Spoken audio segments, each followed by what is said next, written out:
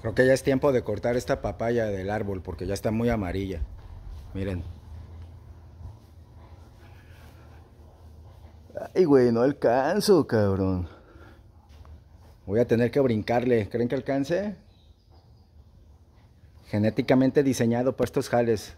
Chéquense. Ay, güey.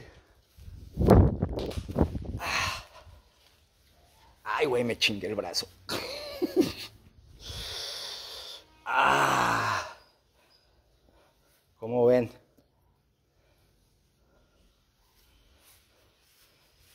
Miren.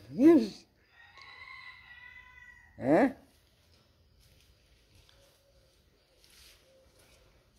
La voy a dejar aquí afuera. Yo estas chingadas no me las trago, güey. No me vaya a hacer daño.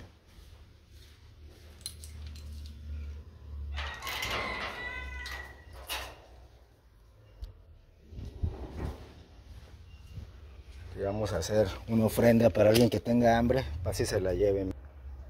¿Eh? Para que no digan que nomás ando aventando guanábanas negras a la calle. Ahora saqué una papaya amarilla. Una papayita amarilla, ¿verdad? Para que luego no digan que soy mala persona y no doy nada bueno para la calle. Ahorita ya corté una papaya. Tiene unas guanábanas. El otro día di una guanábana, pero nadie se la llevó, güey. Por eso ya no la saco. ¿Verdad? Ahorita no hay carambolos. Pero el cacao. Le puse su bloque ahí encima. Lo bloqueé para que no se moviera. Vean qué bonito va.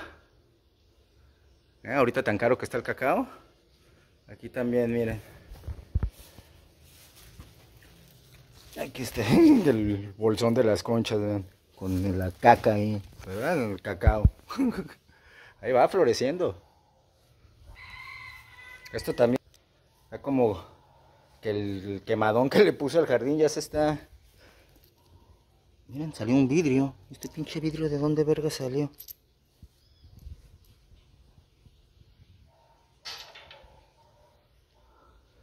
Sí, aquí fue donde quemé las cartas. Pinche vidrio prieto, ¿verdad? Chingar a su madre de aquí. La verga.